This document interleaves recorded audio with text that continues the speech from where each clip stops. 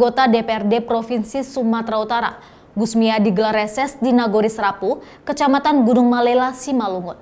Dalam reses tersebut ditargetkan tahun 2024. Warga Serapu memiliki rumah kompos untuk mengelola kotoran ternak di Kecamatan Gunung Malela sekitarnya.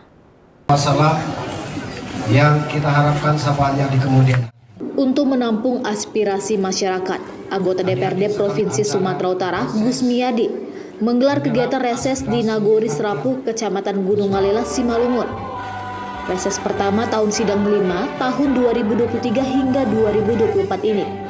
Turut dihadiri Panggulu Nagori Serapu Pendi bersama sejumlah tokoh agama, tokoh masyarakat, dan masyarakat yang mayoritas sebagai petani dan pelaku UMKM. Dalam paparannya, Gus Miyadi menyampaikan untuk meningkatkan perekonomian masyarakat Kecamatan Gunung Malela, pihaknya sudah memberikan 500 lebih bibit kelapa. Dan tahun 2023 ini, diupayakan bantuan kultivator bisa segera terrealisasi untuk Nagori Serapu.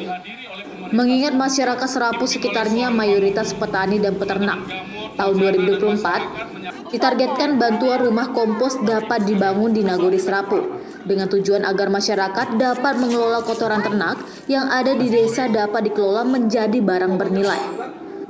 Gus Miyadi mengatakan, reses merupakan sarana komunikasi dua arah antara anggota DPRD dengan konstituen masyarakat di daerah, dengan harapan dapat menampung segala aspirasi berupa masukan usulan masyarakat kepada wakil rakyat untuk kemudian disampaikan ke pemerintah. Dikali satu gandeng harganya sekitar 6 Ya, hari ini kita melakukan kegiatan reses, bagian dari uh, program yang sudah dijadwalkan di DPRD Sumatera Utara kita berharap kita bisa menghimpun aspirasi untuk kemudian nanti kita perjuangkan di APBD setidaknya barangkali di 2024 ya. Kita tahu masyarakat Serapu ini merupakan nagori yang yang telah dimekarkan aktivitas uh, masyarakatnya banyak di bidang pertanian, UMKM dan lain sebagainya. Itu yang berusaha untuk kita jemput dan tentu saja harapan kita semua aspirasi itu bisa kita himpun dan kita bisa perjuangkan. Nah, tadi dari hasil aspirasi sendiri apa yang kira-kira permohonan masyarakat? Iya, sebenarnya saya sering turun ya ke wilayah kita ini. Saya melihat memang potensi terbanyak di sini adalah pertanian dan peternakan.